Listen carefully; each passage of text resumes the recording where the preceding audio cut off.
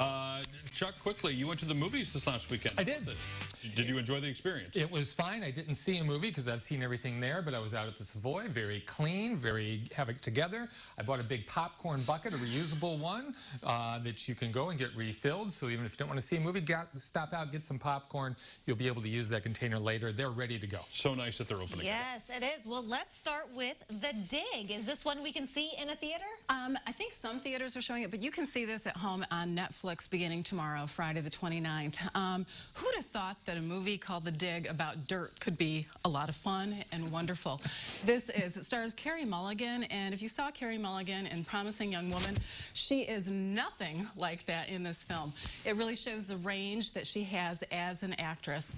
Um, she stars as Edith Pretty, and this takes place just at the beginning of World War II in England, and she is a widow and is raising a young son by herself. She's a wealthy woman, has a country estate, and there are these mounds, these huge mounds that are centuries old on her property. There's something that calls to her to want to dig these up. She hires an excavator, not an archaeologist.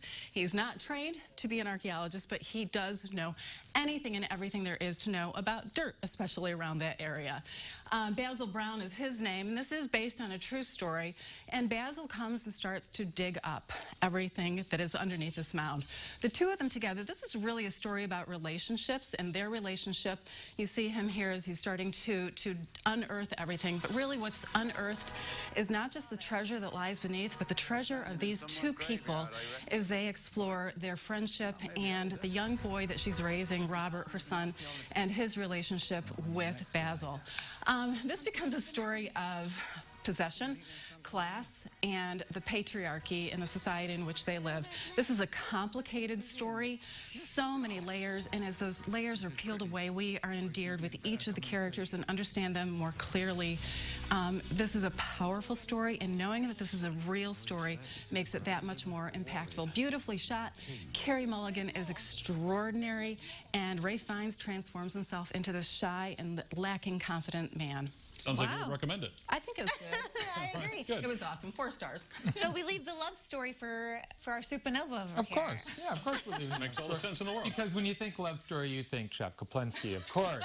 yes, Supernova. And this one you can see in theaters as well as on Amazon starting tomorrow. Supernova stars Stanley Tucci and Colin Firth, two of our best film actors, and they are firing on all cylinders here. Uh, they are lovers. They have been together for quite some time. Tucci's character is named Tusker, and he is suffering from the first stages of dementia. His partner there, Sam, played by Colin Firth, uh, is doing everything he can to take care of him. And they go on a road trip. They go on a road trip in which they see some old friends, they visit some old haunts, and they dance around the subject of what's going to happen next because they know the road that they are on and they know that it is going to be incredibly difficult. And they both have differing opinions as to how to deal with this thing that has come in and is going to destroy their lives.